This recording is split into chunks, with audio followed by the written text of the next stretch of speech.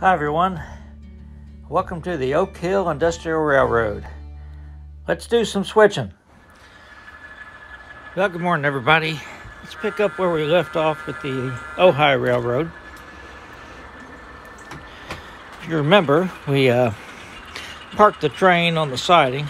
We said it was a Monday night.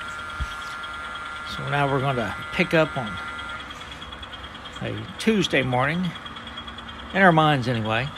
and we're going to switch Cedar Heights clay. So the cars for Cedar Heights are in the back of the train. Remember, the uh, B&O doesn't care about staging the cars the way we want them. We just pick them up however they deliver them. So these two box cars are going to the brickyard, Ohio Fire Brick. We've got to get them out of the way first.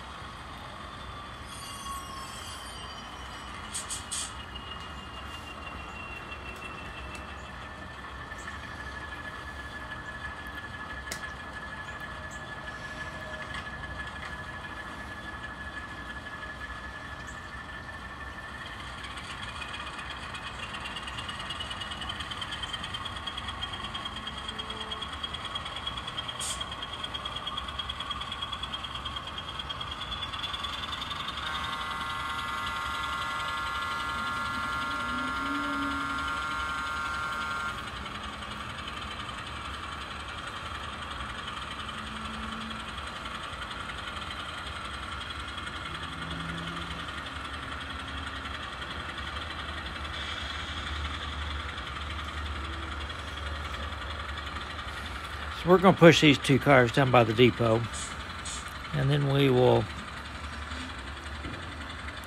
go pull the cars from uh, Cedar Heights Clay.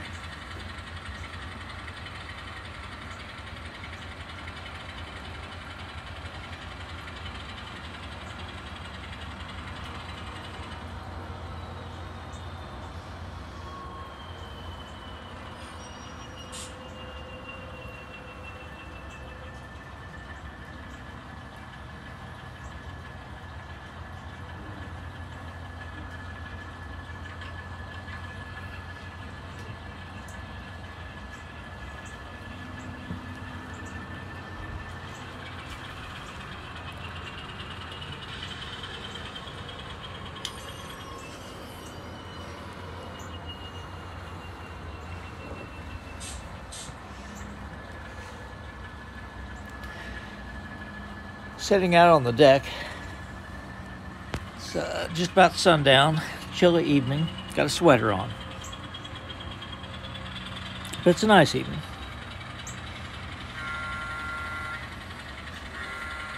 Not too many birds flying around tonight. So a lot of the big migration has passed us, I think.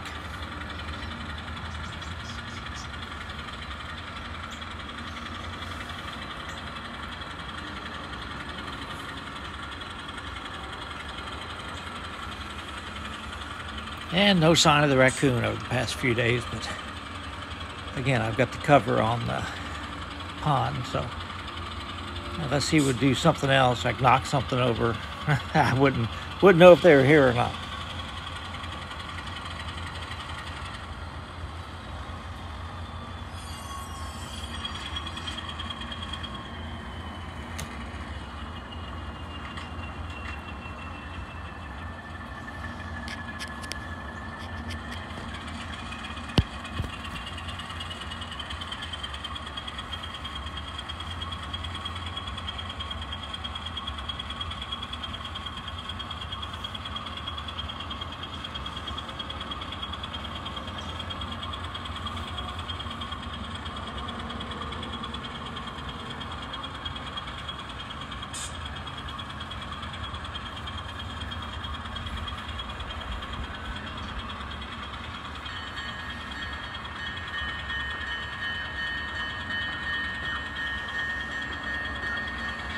Well, I can hear Ferdinand pawn at the door to get out.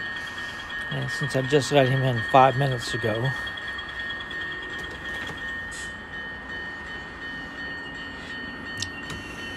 he must have just been hungry.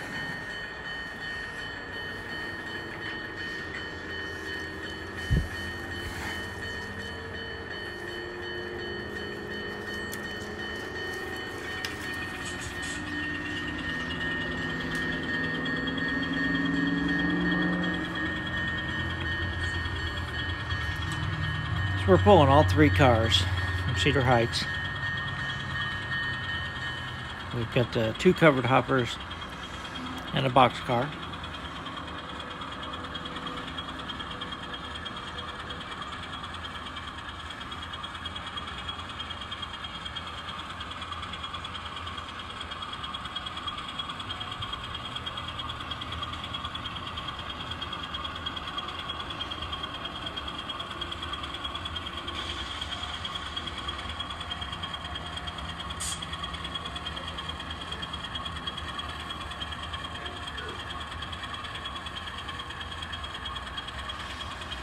You notice that uh, Chessie System boxcar, the last time you saw this video, uh, that boxcar had a roof walk on it.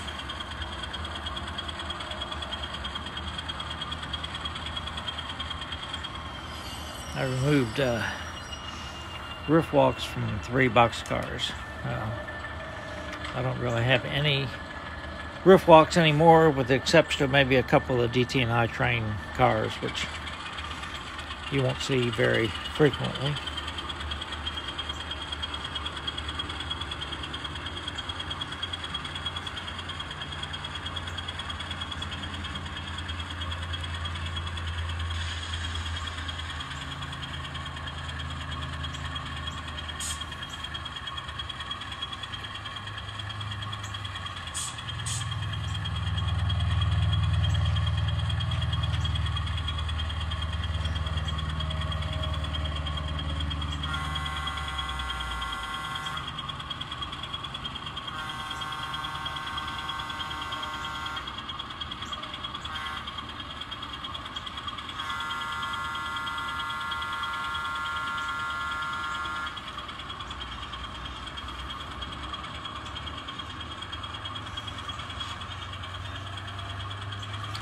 We're just going to place these three cars on the main line uh, with the cars that we just put, uh, moved out of the way there. Narrating this on Thursday evening. I post it Sunday. Um, I hope everyone, if there's anyone in Florida that's watching this, I think you probably have bigger problems than uh, model railroading right now, but I hope I can entertain you for a few minutes. Uh, hope you're doing okay. Here in central Kentucky, we're going to get the remnants of the hurricane Saturday and may get a little bit of rain, but not much. Eastern Kentucky might get two or three inches, but up where I'm at, we'll be lucky to get half an inch.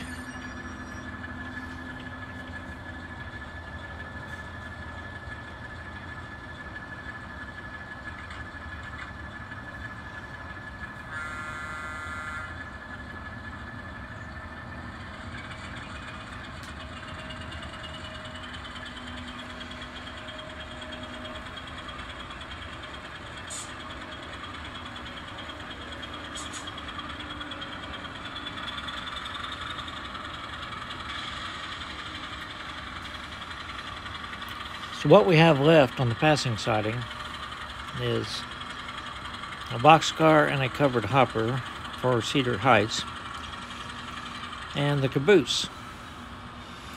So we're going to pull those all forward and we'll tack the caboose onto the cars that we just picked up from Cedar Heights and sort of building the train for the uh, to go to Chillicothe when this is all over.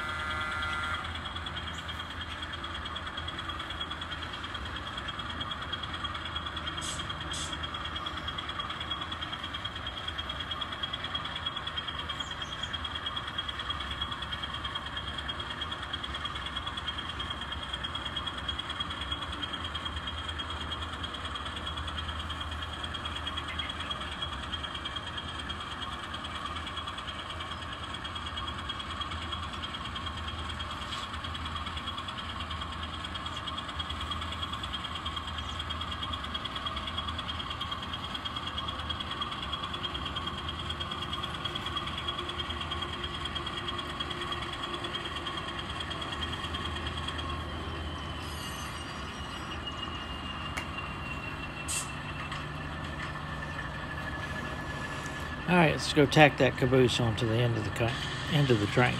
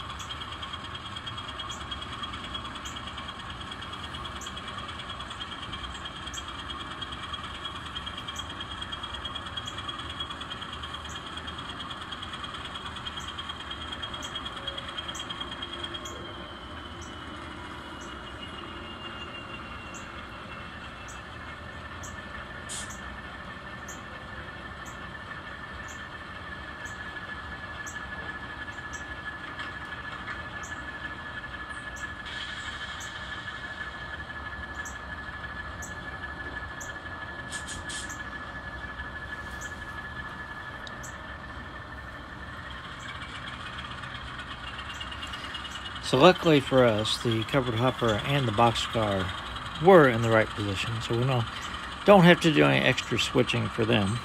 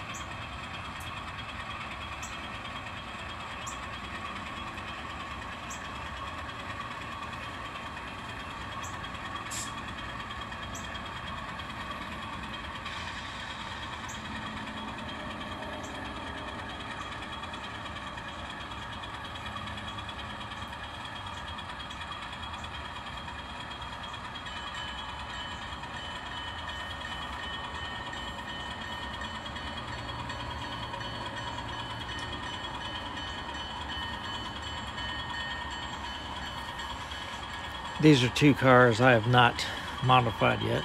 They're bobbing a little bit. I haven't done anything to them. I haven't uh, put grease in the coupler pockets or put springs in or anything else. Uh, but from this angle, it's not too bad. I'm just going to run a trial on those on a few cars before I go whole hog with the grease.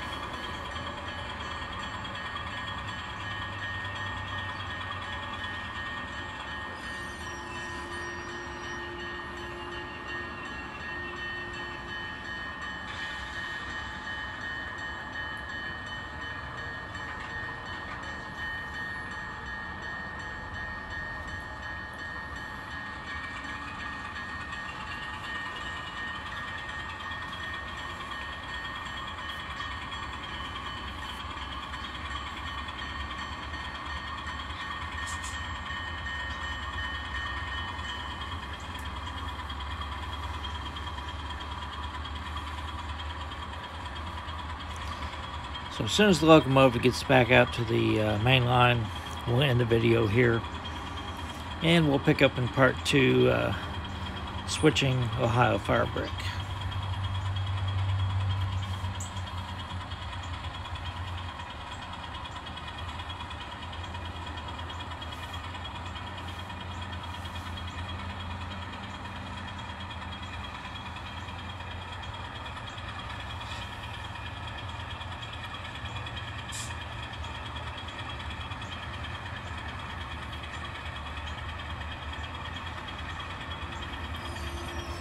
Everybody stay safe.